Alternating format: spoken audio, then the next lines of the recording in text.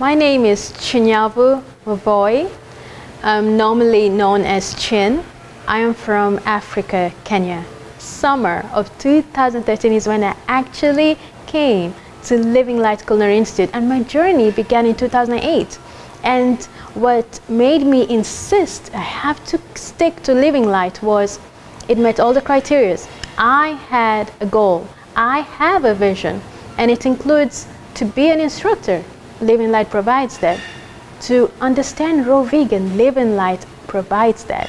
To understand how to be confident in the kitchen, Living Light Culinary Institute provides it all. That's why I stuck to it. And I'm here. Oh, Living Light Culinary Institute is gonna spoil anybody who comes here. Spoiled me. I'm changed. I am so excited. I wake up each morning alive and excited to be alive. I wake up and I'm happy. I don't come out of the bed saying, oh, it's another morning. No, I wake up eager. I don't want to be late. I mean, things are so fast paced here and they in, instill good habits from day one. You will not believe this. The favorite dish in Living Light changes daily. Each day I come here, I'm like, this is the favorite. The next day, I'm like, oh, forget that one, this is amazing. And the following day, it keeps growing. I'm like, wait a minute, which one will I first make when I go home? I said, I'm gonna make a buffet because they're all special. And it just keeps growing because I asked my instructor, you know what? I have found the dish that I'm gonna make when I go home.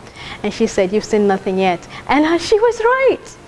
The next time we came, it was amazing. So each meal special. Now I'm challenged to go and um, do what I came here for.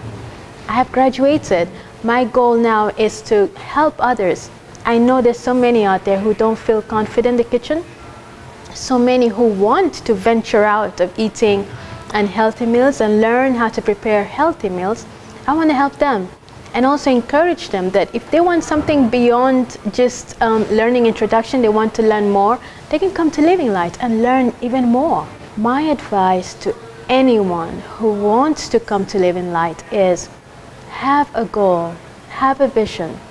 And if you're not sure what path you want to follow, Living Light has different levels of opportunity you can come in for a one, in, one day introductory level where you watch all these demos and it can open up your, um, give you more ideas as to what path you want to follow.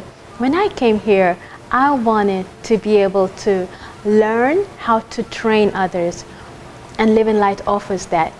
Have a goal, have a vision. Living Light will take care of the rest.